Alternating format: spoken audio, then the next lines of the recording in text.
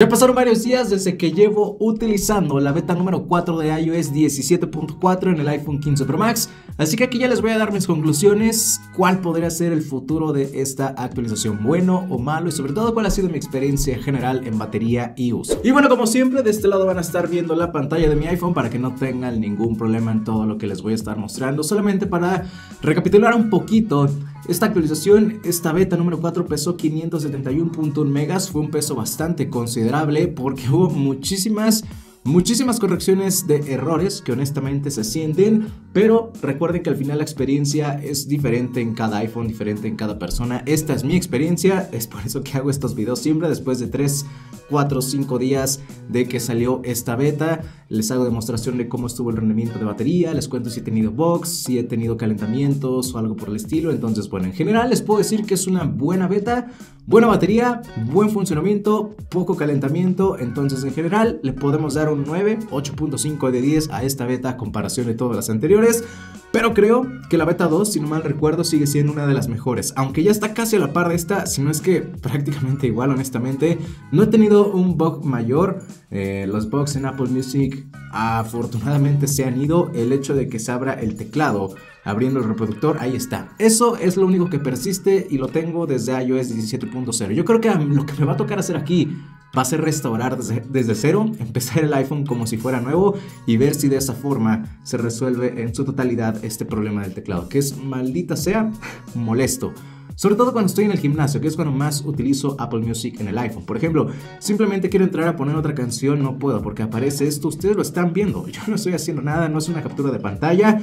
Se, se abre el teclado, estoy apretando el teclado y ni siquiera sé dónde está escribiendo porque realmente es simplemente un bug. ¿Qué hago? Simplemente cerrar el reproductor y cerrar aquí lo que es la búsqueda que yo nunca abrí, que simplemente abrí el reproductor, pero bueno, es bueno que siempre aparezcan este tipo de cosas en vivo mientras grabo el video para que entiendan a qué me refiero. De ahí en fuera, la verdad, honestamente, todo ha sido bastante bueno. Vamos a recordar un poco el Geekbench. Recordando que en esta ocasión fue ligeramente más bajo el Geekbench 2940 en single core, 7291 en multicore, pero que en la beta número 3 fue también ligeramente más alto, pues la realidad es totalmente distinta. Probablemente sí, el score en la beta 3 fue muchísimo mejor, pero mi experiencia el funcionamiento eh, y la batería, sobre todo, fue estupendamente mejor aquí en la beta número 4. Recuerden que este score al final es simplemente algo técnico, por así decir, donde la realidad puede ser similar al puntaje o simplemente algo diferente también. Puede ser simplemente algo cercano, pero no exactamente igual, porque aquí lo demuestro con el score anterior que era mejor, pero esta beta es mejor que la beta 3. Entonces es complicado tratar de explicar eso, pero ustedes espero que ya me entiendan con todas las veces que he tratado de decirles qué significa esto. Pasemos al tema de la batería, que estoy seguro es uno de los más traumáticos e importantes para ustedes. Ahorita pasamos también de lleno a la novedad que tenemos en el apartado de batería, en la aplicación ajustes. Primero que nada, esta captura, recalco, la tomé el día miércoles a las 9 con 14 minutos, 9 de la mañana con 14 minutos, cuando cargué el iPhone al 80%. Esta fue la carga, lo cargué temprano, no antes de dormir. Y podrán ver que tomé la captura ya con 20%, ahí ustedes lo están viendo, y lo tomé prácticamente 8.30 de la noche. Creo que el rendimiento fue bastante bueno. Casi 12 horas, si no hago mal las cuentas. Entonces, está bien, la batería es buena, honestamente es bastante buena. Y eso fue prácticamente el primer día, un día después de haber actualizado. Ahora la captura que están viendo aquí al lado también es una captura nueva, la tomé el día de ayer, en donde sí, ahora sí cargué mi iPhone antes de dormir, en este caso al 91% a las 12.59, a la 1 de la mañana prácticamente. Y la captura la tomé a las 8.45 pm, donde apenas llegó al 20%. ¿Qué quiere decir esto? Que siempre es mejor cargar, voy a hacer un video al respecto, pero siempre es mejor cargar el iPhone antes de dormir. ¿Por qué? Porque si haces esto, va a estar todas esas horas en las que estás durmiendo inactivo y la batería no se va a desgastar, ni se va a calentar, ni nada por el estilo. Entonces podrías cargar de esta forma una o máximo dos veces tu iPhone a comparación de que si lo cargas por las mañanas, por ejemplo, y haces muchas cosas, podrías cargarlo tal vez otra vez en la tarde y probablemente otra vez en la noche. Entonces creo que sería mejor cargarlo antes de dormir y creo que el rendimiento va a ser mucho mejor porque por lo menos esa fue mi experiencia, ustedes podrán darse cuenta. La batería sí duró muchísimo más porque está desde la 1 de la mañana hasta las 8.45 de la noche y todavía yo tenía el 20%. Eso me daba para unas 2, 3, 4, 5 horas más de uso ligero y no está nada nada mal. Sí, en esta lo cargué al 80% en la mañana, eh, pero aún así creo que es un buen rendimiento. Y lo que les digo de que es mejor antes de dormir, pues al final no van a estar usando su iPhone, entonces no se va a desgastar, a lo mucho se va a desgastar 1 o 2%.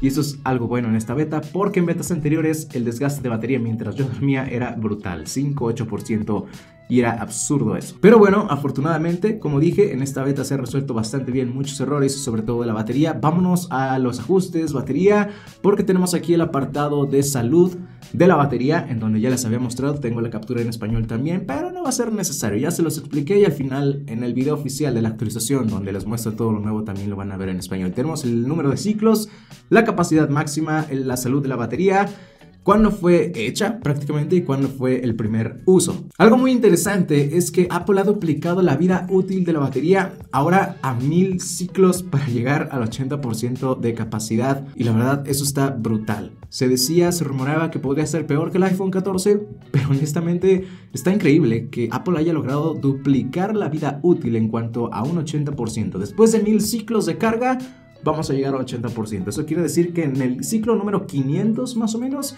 yo debería, o la mayoría deberíamos de tener 90% en cuanto a la capacidad máxima.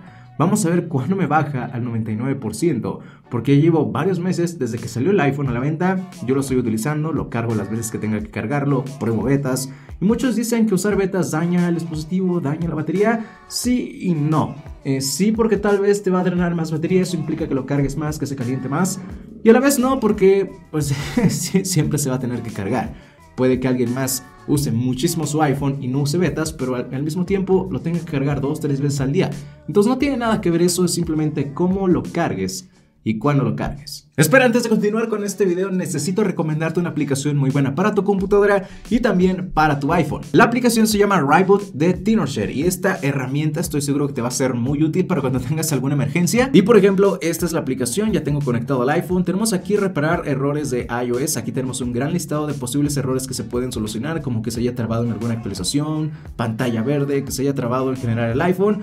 Muchas, muchas opciones y resolverlo con un clic. También podemos entrar y salir del modo de recuperación fácilmente, un clic para entrar, un clic para salir y tenemos actualizaciones o downgrade. Podemos actualizar nuestro iPhone a la versión más reciente o incluso probar alguna beta desde aquí, fácil con un clic y también tenemos downgrade. Esto solamente es posible cuando esté firmando Apple las versiones de iOS anteriores, por ejemplo, mientras están viendo este video, estoy en 17.3.1, podrá regresar fácilmente a 17.3 y de esta forma es como funciona. Y por último tenemos restablecer el iPhone para dejarlo como nuevecito de fábrica o restablecimiento general que se reinician los ajustes de Wi-Fi, teclado, entre algunos otros, pero no perdemos información. La aplicación está bastante buena, muy útil. Si te interesa y quieres probarla, la puedes descargar totalmente gratis. Te dejo el link en el comentario fijo y en la descripción. Y bueno, para terminar respecto a la batería, igual lo cargué a las 12 de la madrugada en punto al 97%. Ahorita lo he estado usando un poquito más de lo normal.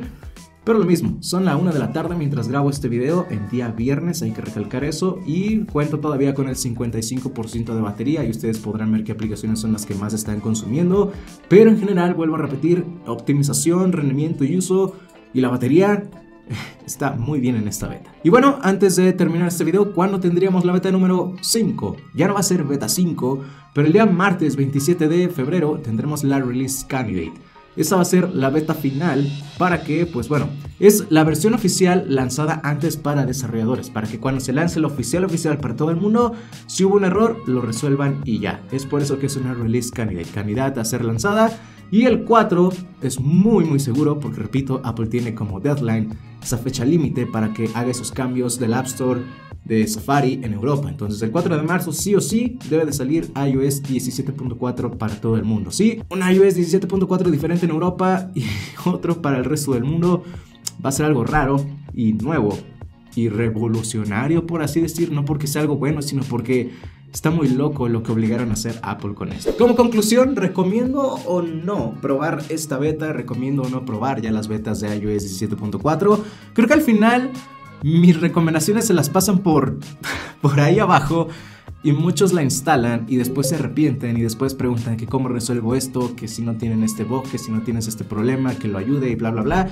Aquí no vengas a llorar si no ves mis videos, si no sigues mis recomendaciones, si actualizas a lo tonto antes de ver mis videos, antes de ver otras opiniones, porque pues la idea de estos videos es que tengas un feedback de cómo van y si es recomendable o no probar estas betas. A este punto, sí, te recomiendo probar iOS 17.4, sin embargo ya no tiene mucho sentido porque ya viene la release candidate. Podrías esperarte incluso a la release candidate o probar esta beta y esperar después a la versión totalmente oficial. Ay, ¿cómo le hago para recibir la actualización oficial cuando sale y tengo betas? Recuerden que para que esto sea posible, y no quieran tener más las betas, deben entrar a la aplicación de ajustes, se van a lo que es general, actualización de software, activan, o más bien se van a la sección de betas, las desactivan y de esa forma ya no reciben actualizaciones beta y les va a salir hasta que salga iOS 17.4 oficial. Me preguntan mucho eso, no tengo idea del por qué.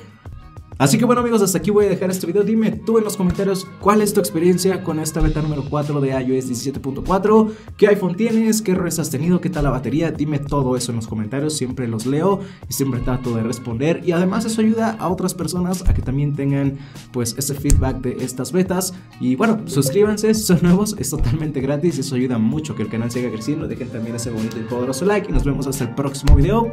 Bye.